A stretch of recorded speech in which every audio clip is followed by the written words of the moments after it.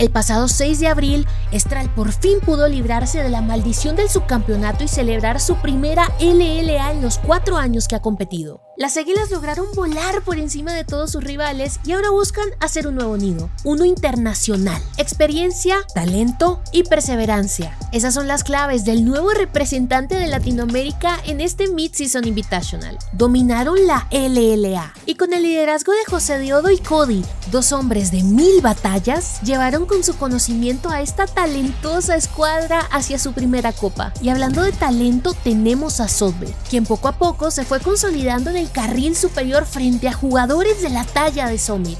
Mientras que en la botlane no podemos olvidar a la dupla favorita de los fans, la Snackerman. Dos jugadores que aunque separados aportaron a Estral, fue en conjunto donde realmente hicieron estragos en las defensas enemigas. Pero la apertura ahora es historia pues se viene el debut de las Águilas y será nada más y nada menos que contra el campeón del mundo, la escuadra de Tijuana. Un auténtico David contra Goliath, con todas las apuestas en contra de un duelo del que se espera todo menos la victoria de Latinoamérica. Pero Estral no quiere que su primer torneo internacional sea fugaz. Después de todo, las grandes hazañas son así, porque nadie las ve venir. No te pierdas el debut de Estral contra Tijuana en el Mid-Season Invitational el primero de mayo por las redes oficiales de la LLA.